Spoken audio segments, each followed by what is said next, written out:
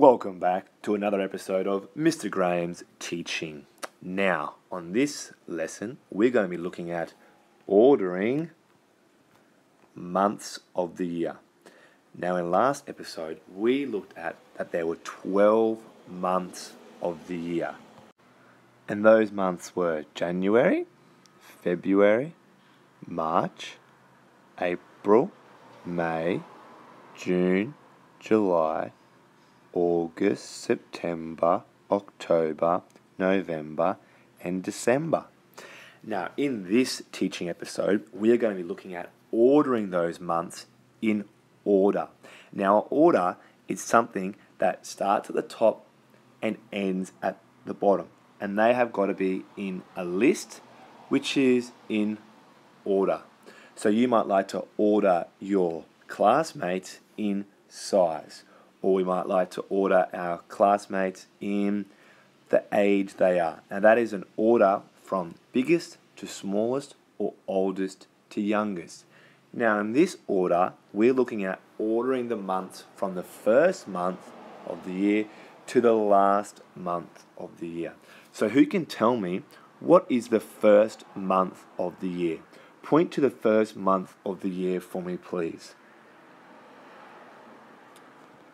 That's right, January is our first month of the year.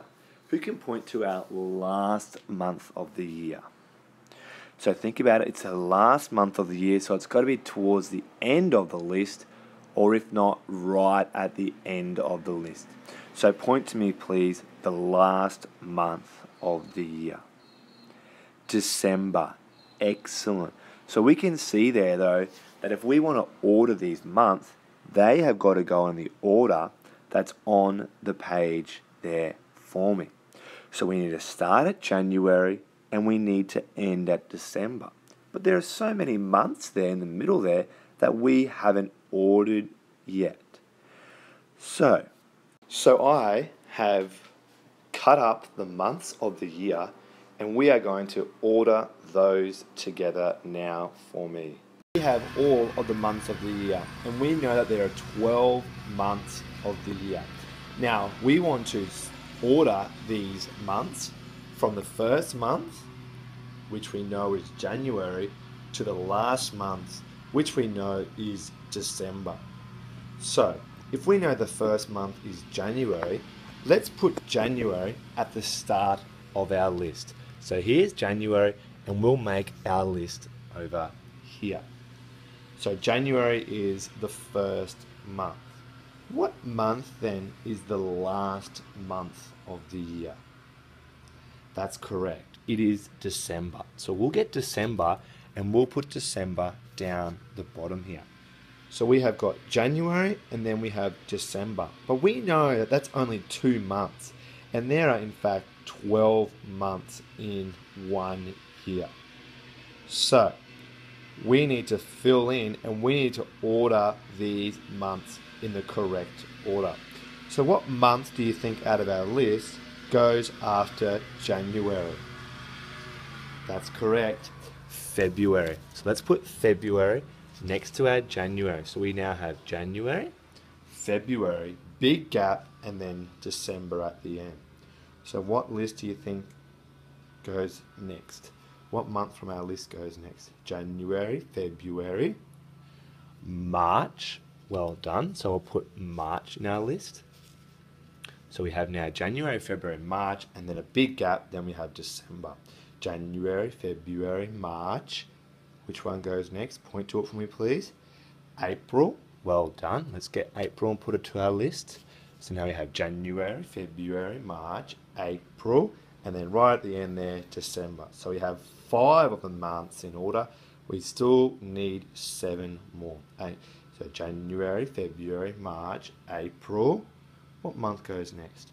May. Excellent. So let's put our May in. January, February, March, April, May. Which one do you think goes next? June. Well done.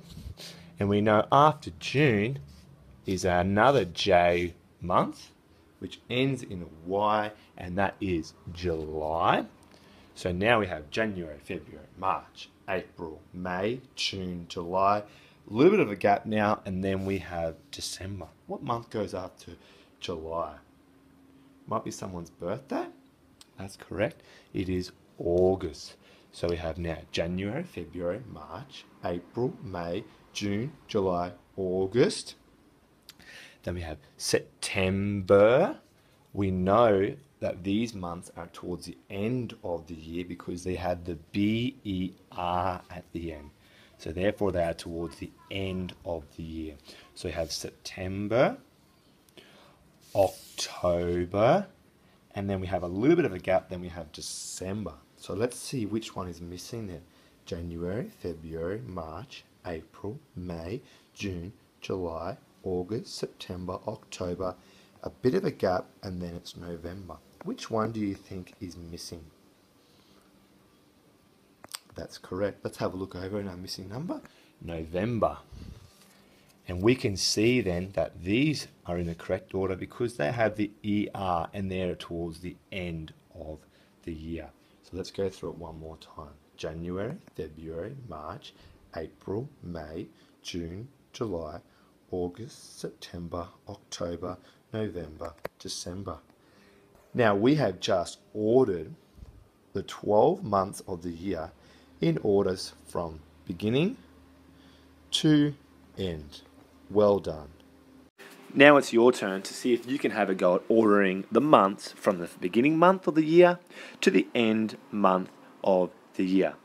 So if you now follow on to the practice and you go to quick sheets, you will find a quick sheet where you are going to order the months of the year from beginning to end. Now remember that there are 12 months in a year, and our beginning month is January, and our end month is December.